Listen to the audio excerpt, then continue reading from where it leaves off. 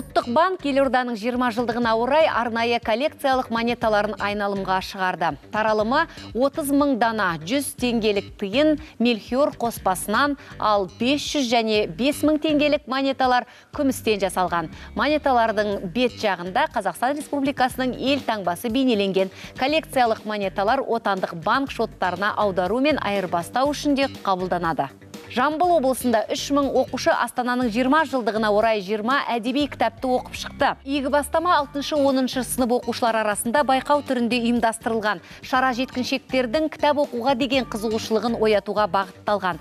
Бір жылға жуық уақытқа созылған байқау кезінде үздік шыққан 20 бала іріктелді. Олар шығармалардан алынған сұрақтар бойынша тест тапсырды. Одан кейін оқыған әдеби кітаптары негізінде эссе жазды. Енді бұл жеткіншектер елорданың туған күнінде бас қалаға тегін жолдамамен саяхат жасап демалып қайтады. Бүгінде балалар әдебиетінің қатары тағы бір құнды кітаппен толықты. Астана қаласының тарихынан сыр шертетін заманауи кітап ел жүрегі ажарлы қала Астана деп аталып отыр. Оның авторы осыған дейін Алматы қаласының мың жылдығына орай осындай кітап жазып шығарған Зәуре Төреханова. Туынды рухани жаңғыру бағдарламасын жүзеге асыру мақсатында жарық көрді. Кітапта қаланың бозоқтан Астанаға дейінгі қызықты ғаламтор беттерінде жарық көрмеген тарихы айтылады. Шығарма қазақ, орыс, ағылшын тілдерінде шыққан.